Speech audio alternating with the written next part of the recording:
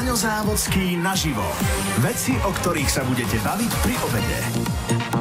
Najvyššie hory sveta si opäť vyžiadali tú najkrutejšiu daň. Medzi 40 obetí minulotýžňovej výchrice a následných hlavín sú aj dvaja naši horolesci. Janko Matlák a Vladimír Švancár. Čest ich pamiatke. Ministerstvo zahraničných vecí ale stále nemá kontakt s dvomi ďalšími našimi ľuďmi, ktorí by mali byť v Nepále.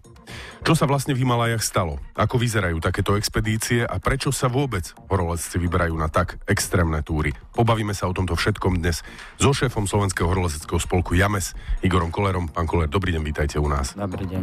Aj keď je to veľmi nepríjemná situácia a celá táto udalosť, veľmi pekne ďakujem, že ste prišli, aby sme mohli trošku našim posluchačom vysvetliť, ako to vôbec vyzerá na takýchto expedíciách a čo všetko sa tam deje, ale samozrejme hneď na úvod by som vás poprosil, ak máte nejaké nové informácie, čo sa týka našich horolescov, najmä teda tejto expedície, ako to v tejto chvíli vyzerá?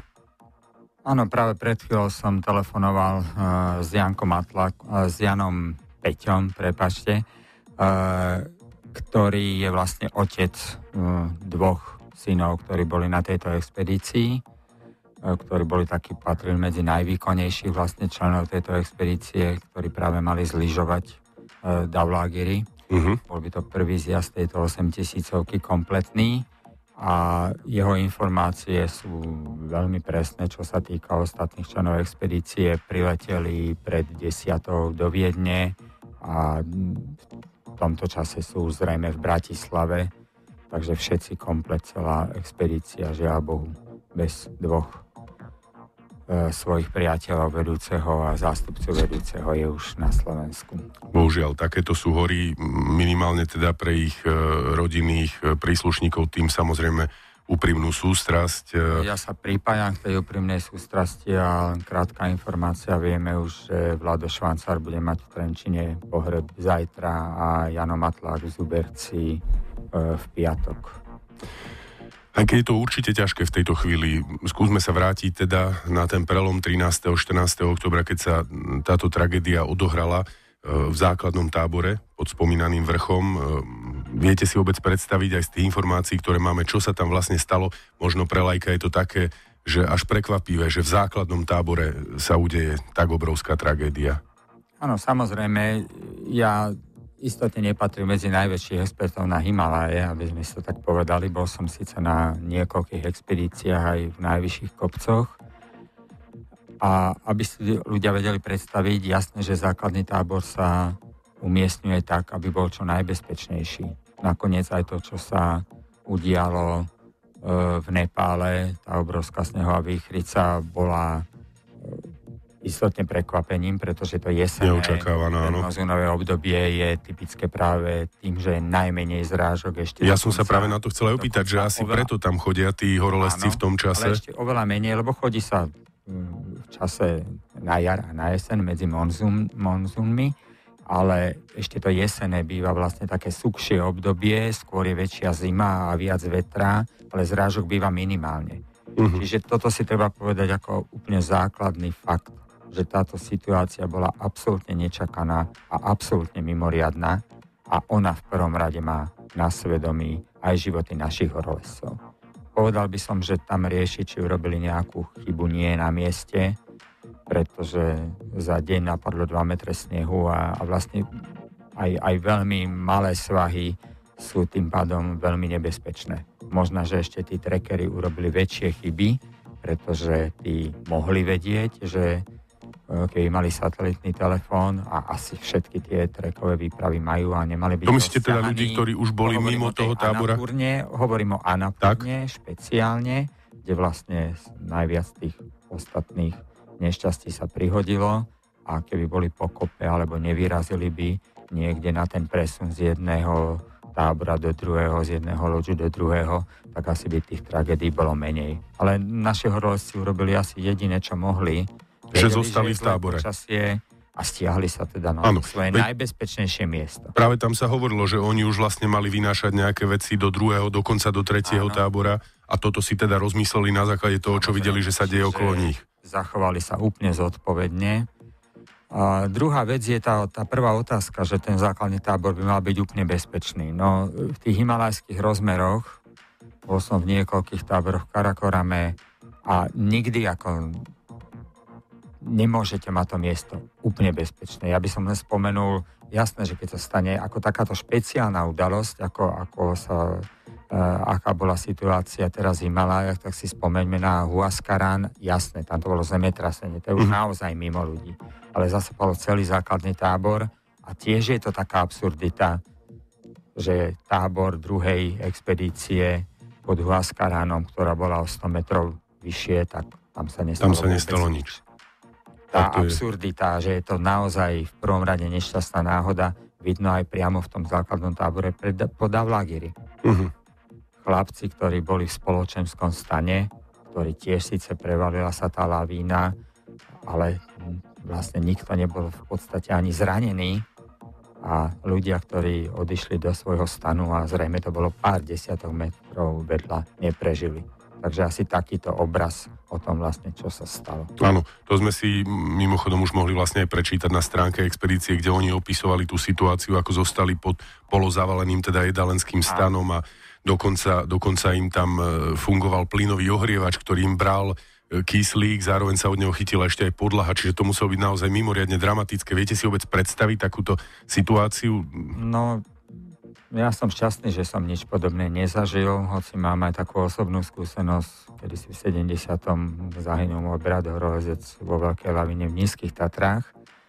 Ale m, mm, istotne toto je troška o šťastí, pretože istotne aj ja som bol za tie desiatky rokov horolezeckej činnosti v situáciách, že sa to mohlo stať.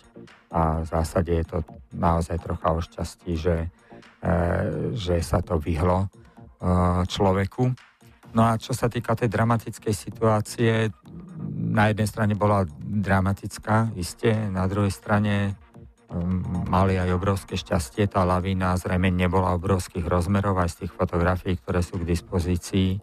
Nepadla z nejakých svahov tisíc metrov vyššie, ale spadla vlastne zo svahu nad táborom, kde nikoho nemohlo napadnúť. Mm-hmm. Tam by bolo v tomto období toľko snehu, a vlastne ten boli síce meter pod snehom, ale keďže to ani nepritlačila, bola to prachová lavina z čerstvého snehu, takže v zásade tá šanca na prežitie bola relatívne veľká v tom stane. Tam bolo napríklad... väčší nános trafil práve tie malé, malé stany. stany kde chlapci odišli spať a bolo to pre nich osudné.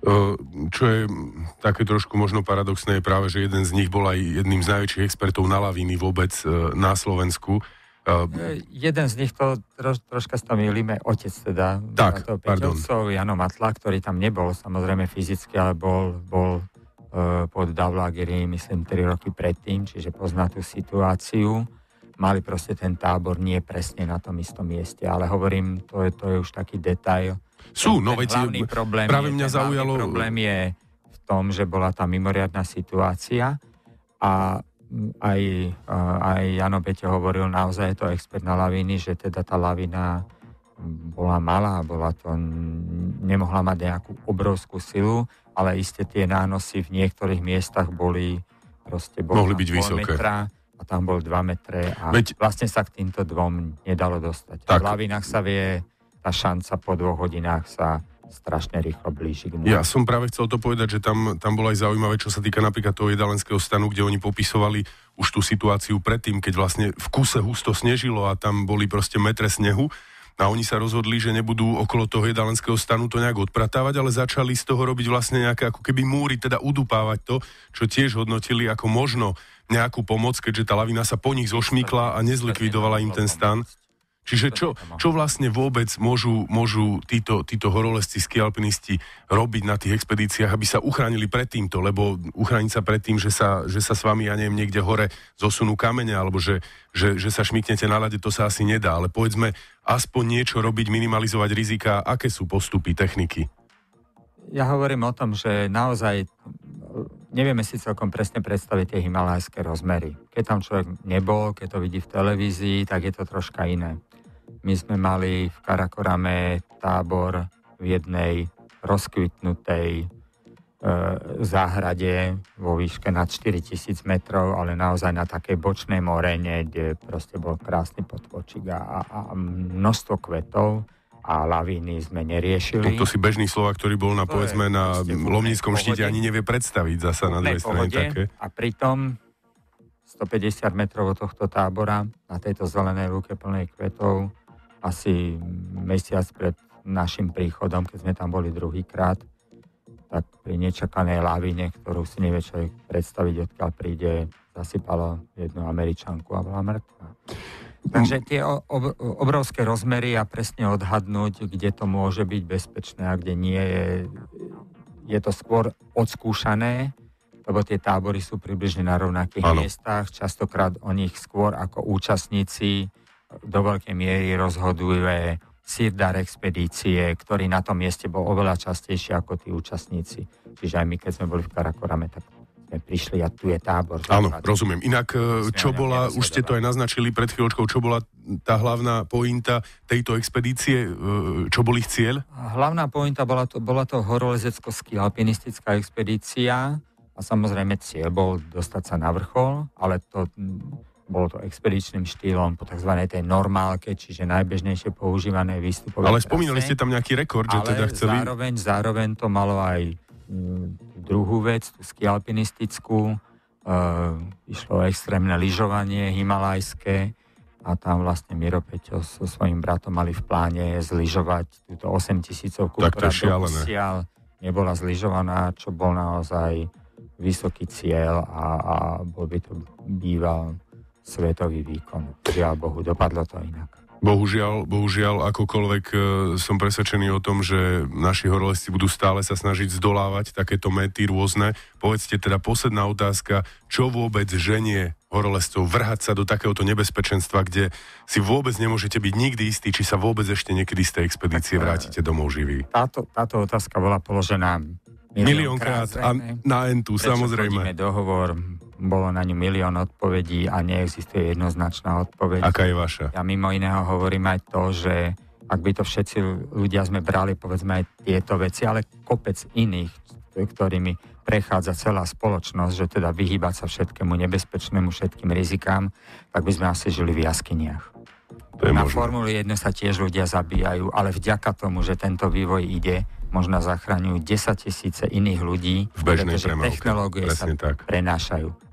Podobne je to z horolezectvom. Isté, dnes, ano, dnes aký chodíme topánkach v zime, vo vetrovkách a tak ďalej. Je to vášeň, ale má to ďaleko širší rozmer a zmysel. Veľmi pekne vám ďakujem, pán Koler, že ste tu dnes boli. Rozprávali sme sa so šéfom Slovenského horolezeckého spolku JAMES, Igorom Kolerom. Ešte raz ďakujem a ďakujem dovidenia. Ja. Veci, o ktorých sa budete baviť pri obede. Braňo Závodský naživo.